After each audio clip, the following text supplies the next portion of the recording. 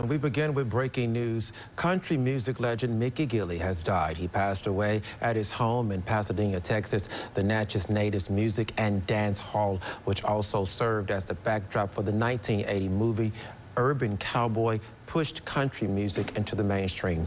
He was 86 years old.